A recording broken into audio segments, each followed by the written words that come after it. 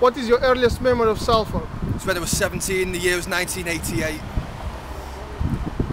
Um, what happened is I, got a, I was living in Waddington and I got offered a job in Salford. So I was a 17 year old, very young.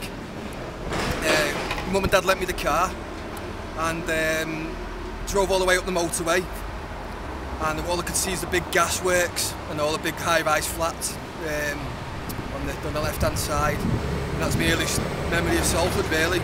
Flats and gasworks. Seemed pretty bleak at the time. And what do you think of the change that has happened in the city in the last few years? Well, there's no Salford Quays in 1988. It was all getting built. Nowadays, you've got Salford Quays. Um, you know, um, big tower blocks. Old Trafford was nothing like, the football ground was nothing like what it is today. It was, it was a lot smaller. Old Trafford now, it's, it's a big, you know, it's big landmarks, it's part of the skyline of Salford. There's no Trafford, no Trafford Centre, which is, well, it's not solely Salford, but you can see it from Salford.